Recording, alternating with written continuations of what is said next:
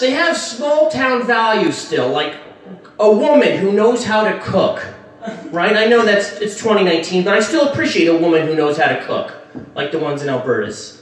Even if it's just methamphetamine, it's still a start. I like supporting my little ma and pa meth labs. You know what I mean? None of that big corporate mumbo jumbo. I like the little ones. Anyone ever do methamphetamine? Nope. I have, I have twice. Just like a hundred.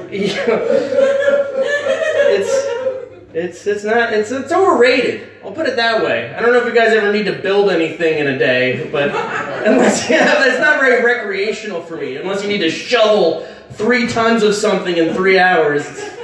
Um, but I do keep my meth dealer on speed dial in the instance I need it. Yes, I know. I'll let that sit. I'll let that sit. Talking about entrepreneurs in the drug business world. This young urbanite entrepreneur was walking around Allentown and he came up to me and goes, Yo man, I got the shit that killed Elvis.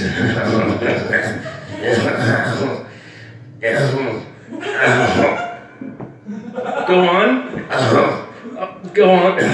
And he opened up his jacket, and in his jacket he had a five pound bag of fried peanut butter and banana sandwiches.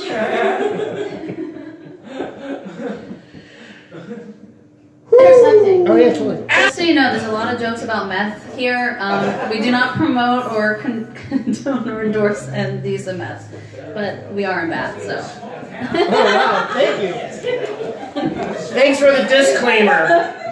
By the way, guys, I have a great five day energy powder I'm here to endorse.